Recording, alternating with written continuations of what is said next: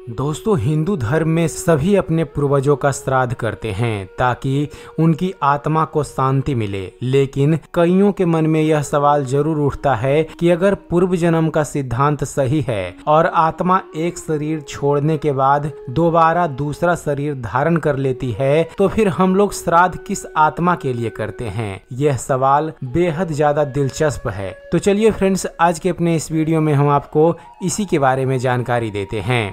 दोस्तों, हिंदू धर्म में पूर्व जन्म की अवधारणा है, लेकिन फिर भी जो मनुष्य मृत्यु को प्राप्त होता है, उसके लिए हम श्राद्ध करते हैं। जबकि इस अवधारणा के अनुसार उस आत्मा ने तो कुछ ही दिनों में दोबारा जन्म ले लिया होगा।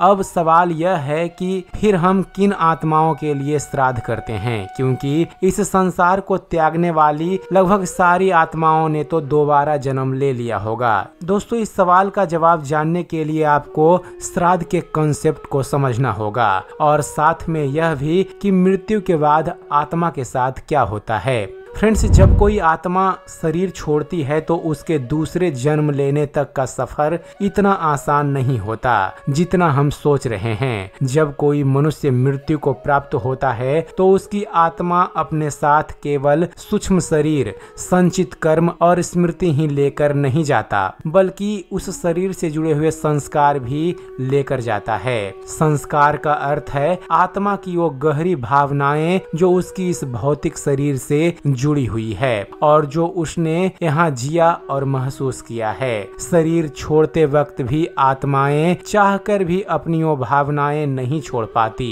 और साथ लेकर चली जाती है। हम श्राद्ध इसी उद्देश्य से करते हैं फ्रेंड्स कि वो पूर्वज जो इस संसार को छोड़कर जा चुके हैं वो इस संसार से मिले राग, द्वेष, मोह इत्यादि से भी मुक्त हो जाएँ और उनकी आत्मा शांति से इस संसार से अपना सब कुछ त्याग कर विदा ले ले। जब आत्मा अपना नश्वर शरीर त्यागती है तो वह कर्म के सिद्धांत के अनुसार दूसरा शरीर धारण करने के लिए अथवा पुनर्जन्म के लिए प्रतीक्षा करती है। लेकिन इस बीच वो आत्माएँ अलग अलग लोकों में भटकती रहती है। उस दौरान वो आत्माएँ न केवल अतृप्त होती है, बल्कि असक्त भाव से भटकती रहती है। उनके भटकते रहने का कोई समय सीमा निर्धारित नहीं रहता, और न ही ये निर्धारित होता है कि जो आत्माएँ पितृलोक में गई हैं वो मनुष्य योनि में ही जन्म लेगी। श्रीमद भगवत गीता के नौवे अध्याय के पच्चीसवें श्लोक में कहा गया है कि देवताओं को पूजने वाले देवताओं को प्राप्त होते हैं, पितरों को पूजने वाले पितरों को प्राप्त होते हैं। भूतों को पूजने वाले भूतों को प्राप्त होते हैं, धर्म पर चलने वाले मुझको, अर्थात भगवान के चरणों में जाते हैं। तुरंत जन्म न लेने वाली आत्मा या प्रेत योनि में भटकने वाली आत्मा को काफ़ी कष्ट उठाने पड़ते हैं और वो फिर संसार में अपने सगे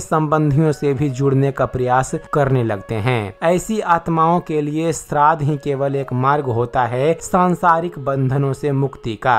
जब हम श्राद्ध करते हैं तो श्राद्ध उन आत्माओं को समर्पित होता है, जिन्होंने अब तक मनुष्य योनि में जन्म नहीं लिया या जिनकी आत्मा किसी कारण बस भटकती रह गई है। श्राद्ध के ज़रिए हम उन आत्माओं की शांति की प्रार्थना करते हैं और उन्हें यह संदेश देते हैं कि वो अब इस संसार के मोह माया को त्याग कर जा सकते हैं, क्योंकि उनके छूटे उत्तरदायित्व को अब दूसरे लोग संभाल सकते हैं। मृत्यु के बाद से लेकर दोबारा जन्म लेने के बीच के समय में वो शांति से रह सकें, उसी के लिए श्राद्ध किया जाता है। तो उम्मीद करते हैं फ्रेंड्स, आप सभी को हमारा यह वीडियो पसंद आया होगा। वीडियो पसंद आया हो तो वीडियो को लाइक और शेयर करना मत भूलिएगा। और दोस्तों, ऐसे ही हिंदू धर्म से जुड़े हुए इंटरेस्टिंग वीडियोज़ देखते रहने के लिए हमारे इस चैनल ज्ञान मंथन को सब्सक्राइब ज़रूर कीजिएगा। आप हमारे इस चैनल को सब्सक्राइब कीजिए और देखते रहिए, जानते रहिए। धन्यवाद। जय हिंद।